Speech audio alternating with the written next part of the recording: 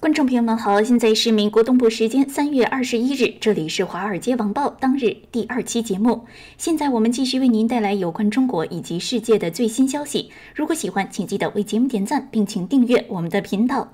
今天首先要为您关注到的仍然是跟外交有关的消息。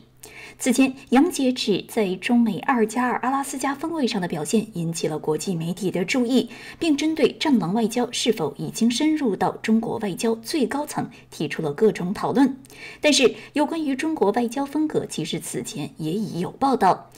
在《华盛顿邮报》专栏作家乔西·罗金刚刚出版的新书《天下大乱》中，就曾经记载这样一段情节。这是在二零一八年在巴布亚新几内亚所召开的 APEC 峰会。书中记述，在会议召开前，中国开通了一条穿过莫尔茨比港中间的巨大公路。这条公路通向闪闪发光的新议会大厦，相当令人惊叹。而为了邀请习近平前来，中国代表团特意在之前在这一条中国帮助修建的新路上插满了中国国旗五星红旗。但是，当其他国家的代表团陆续涌入时，巴布亚新几内亚政府要求中国代表团把旗帜取下，中国代表团拒绝。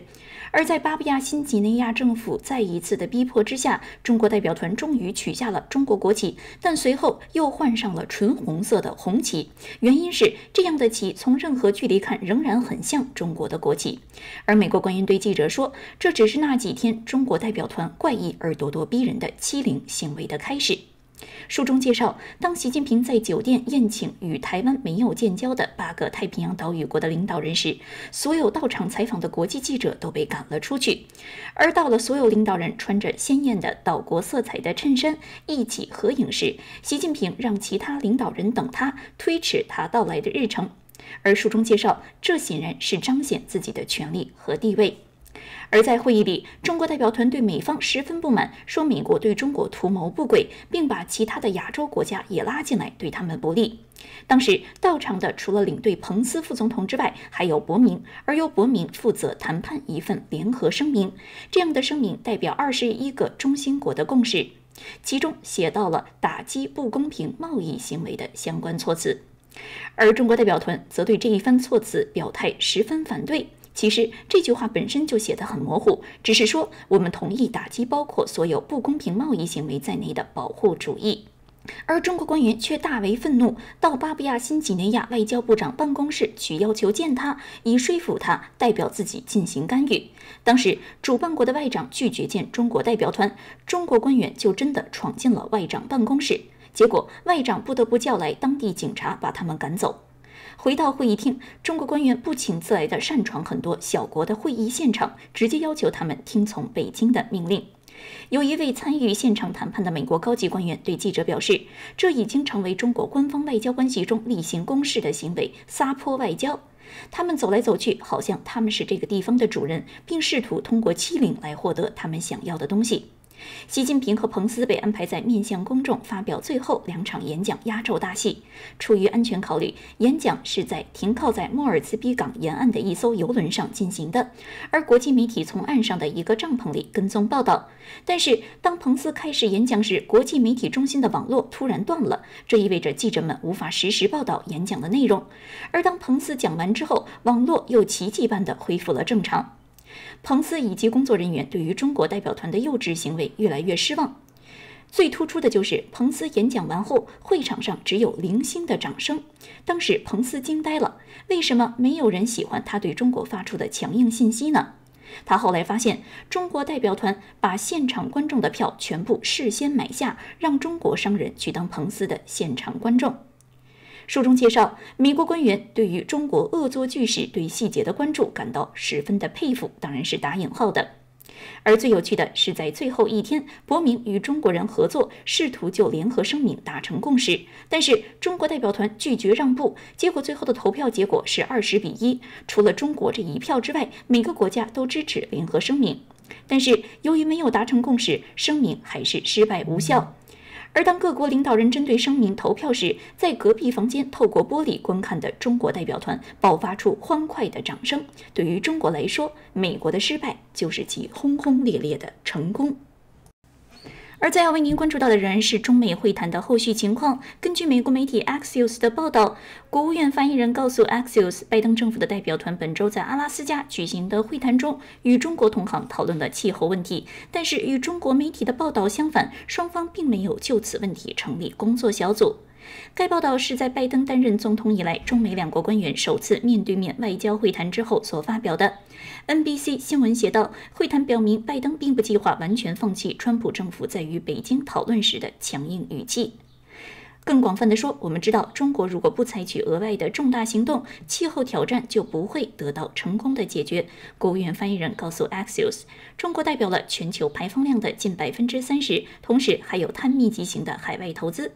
发言人表示，中国国家主席习近平承诺在二零六零年前实现净排放，是向前迈出的重要一步。但是他补充说，中国需要做更多的工作来实现巴黎协定的目标。发言人说，在我们推进应对气候危机的过程中，我们将继续与中国和其他主要国家接触。在我们向格拉斯哥 COP 二六迈进的过程中，所有国家都必须提高自己的雄心壮志。美国气候特使克里在一月表示，美国必须将气候变化作为一个关键的独立问题与中国打交道。但是，拜登政府不会停止就侵犯人权和贸易问题与北京对抗。再要为您关注到的是亚特兰大凶案中有关于受害者的更多情况。根据来自美国媒体《今日美国》的报道，二十一岁的白人青年罗伯特·龙在十六日持枪袭击乔治亚州亚特兰大地区三家按摩店，造成八人死亡，其中有六位是亚裔女性，其中至少两位是华人女性。他们一位是被袭击的第一家杨氏按摩店的店主，四十九岁的谭小杰；另一位则是店中的员工冯道瑜。这是一个发音类似的名字。根据报道，谭小杰的女儿刚从佐治亚大学研究生毕业后不久，她和她的父亲一起接受了《今日美国》的采访。女儿回忆说，母亲每天在店中工作时间长达十二个小时，为了让她生活的好一点，母亲付出了一切。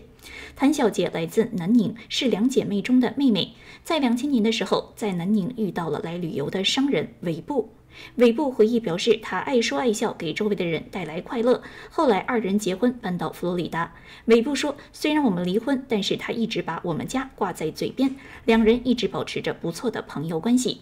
二零一零年，谭小杰搬到了亚特兰大地区。除了杨氏按摩店外，他还拥有一家足部护理店。虽然每天非常忙碌，但是他此前表示自己退休之后希望可以彻底轻松。而他的一位朋友告诉《今日美国》，谭小杰是他遇到过最热心、最亲切的人。没有想到，距离五十岁生日还有一天的时候，却无辜死去。杨氏按摩店的另外两位死者是三十三岁的一位女性，还有五十四岁的一位男性。最后为您关注到的是来自 ABC 的报道。文章介绍，新的财务披露报告显示，几位前奥巴马时期的官员在拜登总统的带领下重返白宫，而现在他们的资金实力更加雄厚，与企业利益也有更深联系。根据 NBC 新闻对于最新披露的报告的分析，拜登政府的许多高官，包括幕僚长。克莱恩国内政策委员会主任赖斯、国家经济委员会主任布莱恩迪斯，还有冠状病毒应对协调员杰夫齐恩特，在过去几年中财富都有大额增加。拜登的现任国家安全顾问沙利文是一位千万富翁。在披露报告中显示，他与配偶玛格丽特·古德兰德持有的资产在七百五十万美元至两千七百五十万美元之间。他曾是现任司法部长梅里克·加兰法官的前法律助理。还有大部分财富来自于散落在佛罗里达州和新罕布什尔州的住宅和商业房产。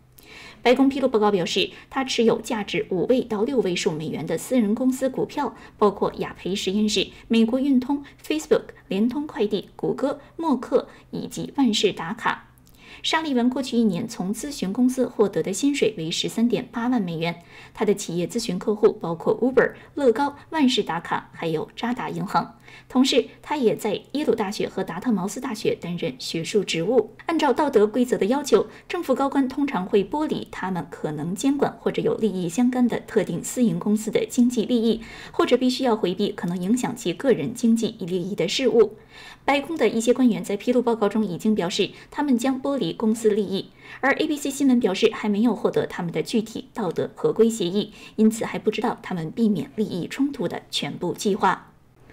最后，再要为您关注到的是跟前总统川普有关的消息。根据来自 CNN 的报道，前总统川普的高级顾问表示，他将在不久的将来以自己新建的社交媒体服务而重返社交媒体舞台。曾经担任川普2020年竞选活动发言人的杰森·米勒在周日在福克斯新闻的节目中表示，川普将在未来两到三个月内重回社交媒体，这次是建立属于自己的新平台。他声称。川普将完全重新定义游戏。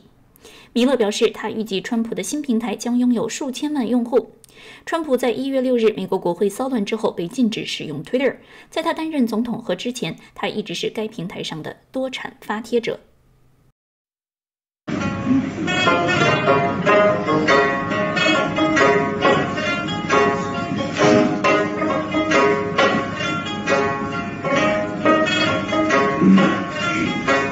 师弟。